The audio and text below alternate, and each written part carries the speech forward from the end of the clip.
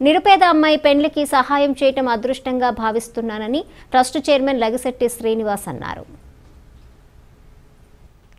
ఈ రోజున సిరిసిల్లపట్నం శాంతినగర్లో గుంటుక చందన అనే నిరుపేద అమ్మాయి పెండ్లికి తనవంతు సహాయంగా వారికి పుస్తెలు మట్టెలు పెండ్లి చీర గాజులు ఇవ్వటం జరిగిందన్నారు. వారి వైవాహిక జీవితము భవిష్యత్తు బాగుండాలని సంతోషిమాత అమ్మవారిని కోరుకున్నారు. ఈ కార్యక్రమంలో స్థానిక కౌన్సిలర్ రాపెల్లి దినేష్ సిరిసిల్ల పద్మశాలి సంఘం అధ్యక్షులు గోలి వెంకట్రమణ జిల్లా పద్మశాలి గౌరవ అధ్యక్షులు గొనె ఎల్లప్ప జాగృతి నాయకులు జూపల్లి నాగేందర్ బోడా రవి పద్మశాలి కళ్యాణ సంఘం డైరెక్టర్ సిరిసిల్ల వెంకట్రమణ గౌడ ఆంజనేయులు గోపన్నగారి శ్రీనివాసు చౌటపల్లి వెంకటేష్ వార్డు ప్రజలు పాల్గొన్నారు.